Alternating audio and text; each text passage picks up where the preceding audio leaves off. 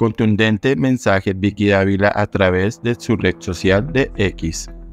El Día de la Mujer, muchos se preocupan por postear el mensaje más meloso para hablar sobre ellas, pero es evidente que hay una gran hipocresía en la sociedad, una farsa. Las matan, las abusan, las discriminan, las maltratan y las someten.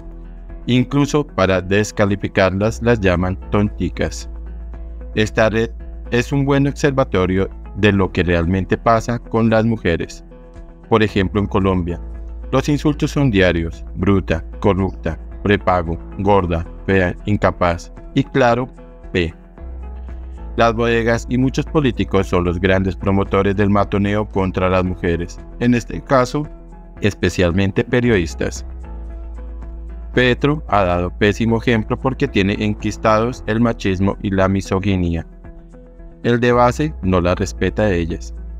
Pero más allá de X, en la sociedad que hoy celebra esta gran fecha, casi siempre se ponen en duda los logros de una mujer que es exitosa.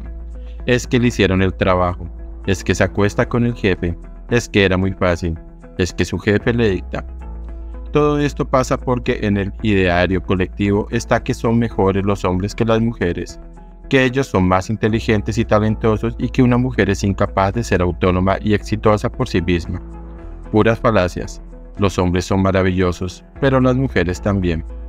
Así que en lugar de palabras melcochudas que se las lleva el viento a cambiar la mentalidad y a felicitar a las mujeres con acciones y obras.